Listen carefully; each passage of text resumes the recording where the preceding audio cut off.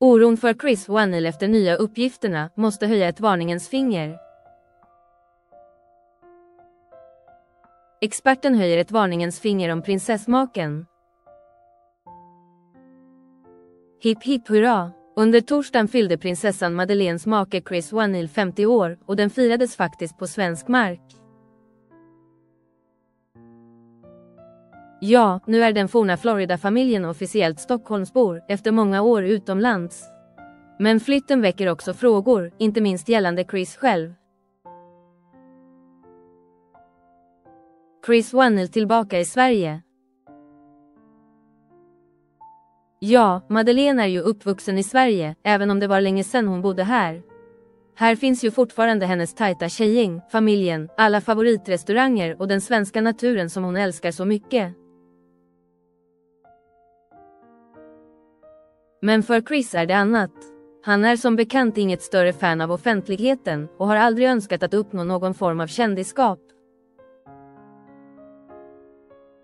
I Florida var det lätt att flyga under radarn, men hemma i Sverige är det betydligt fler som har koll på affärsmannen.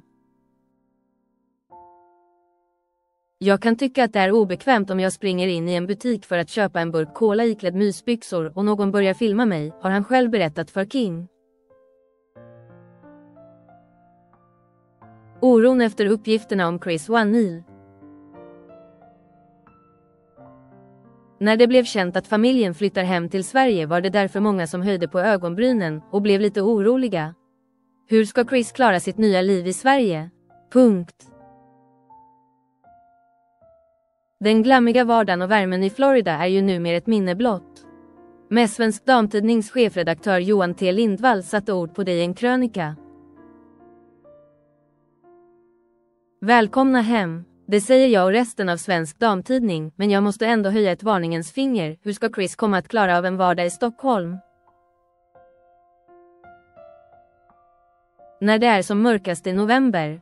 När han ska traska från Hovstallet uppför Nybrogatan till Hemköp vid Östermalms torg i ett isande kallt och regnigt Stockholm.